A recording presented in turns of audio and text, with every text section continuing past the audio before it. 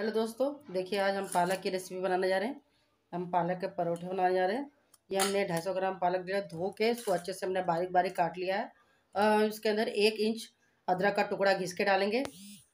आपके ऊपर है, आप घिस के भी काट के भी डाल सकते हो। मैं घिस के डालूँगी, ज़्यादा अच्छा रहेगा। अदरक का टुकड़ा। फिर इसके बाद हम मसाले डालेंगे। तो मैं आपको बताते जाऊँगी क्या क्या क्या डालना है इसके अंदर, कैसे बनाना है। देखिए हमने अदरक डाल दिया। ये ओरिगिनो है, जो हम डालेंगे। आधा इंच। आधा चम्मच यानी और हम डाल देंगे ऐसे ऐसे करके।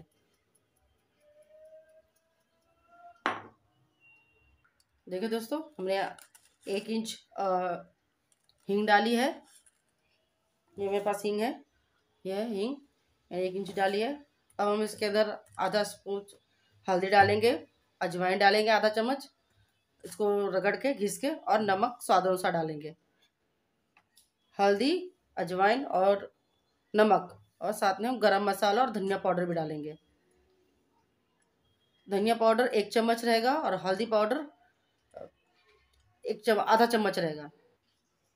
देखिए दोस्तों, ये आधा चम्मच हमने गरम मसाला लिया है और नमक हमने सादों अनुसार डाला हुआ है।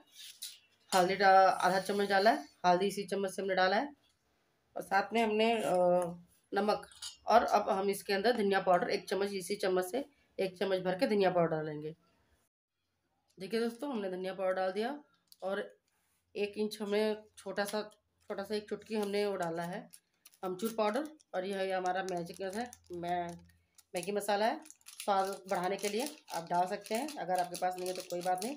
मेरे पास है तो मैंने ये आधा चम्मच के करीब डाल दिया है। अब हम इसके अंदर एक कप भर के गेहूँ का आटा डालेंगे और इसको फिर हम अच्छे से गूँथ लेंगे, क्योंकि पानी इसमें बहुत कम लगेगा। थोड़ा थोड़ा पानी डाल के क्योंकि पालक में वैसे ही पानी रहता है तो हम थोड़ा, आधा कप से भी पानी जब कम हम यूज़ करेंगे इसके अंदर पानी, वही पानी ज़्यादा यूज़ होगा उसके थोड़ा सा ही पानी यूज़ होता है इसके अंदर। हाँ देखिए दोस्तों, हमने ये आटा गूँथ लिया है। अब हम इसके अंदर थोड़ा सा घी है जो हमारे पास, अगर आपका घी नहीं है तो तेल डाल सकते मैं थोड़ा सा घी डाल के आधा चम्मच देख सकते हो अच्छे से उसको मसल लूँगी। ठीक है अच्छे से घी डाल के हम इसको अच्छे से से ऐसे ऐसे करके अच्छे से घी का मैन दे देंगे अच्छे से तो स्वाद और अच्छा लगेगा।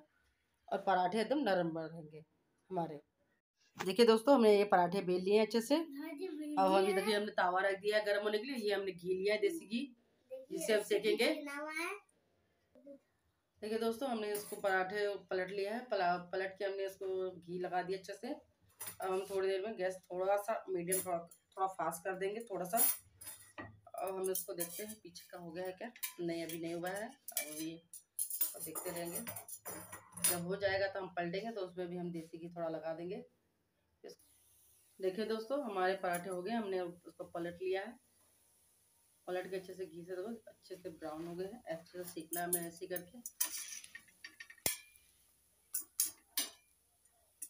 से पराठे हमारे सीख के अच्छे से तैयार हो जाएँगे। हम उसको सब्ज़ी के साथ या सॉस के साथ जैसा आप खाना चाहें खा सकते हैं।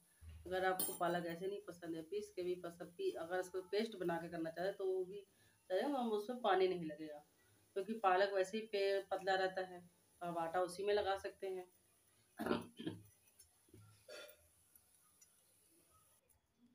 देखिए दोस्तों, ये हमारे पराठे बनके तैयार हो गए हैं।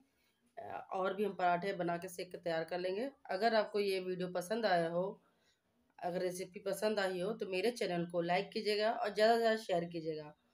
और प्लीज़ मेरे चैनल को सब्सक्राइब ज़रूर कीजिएगा, क्योंकि तो वीडियो बहुत मेहनत से हम बनाते हैं। तो प्लीज़ प्लीज़ आप वीडियो को ज़रूर देखिए और मेरे चैनल को ज़्यादा से ज़्यादा शेयर कीजिए। Bye bye.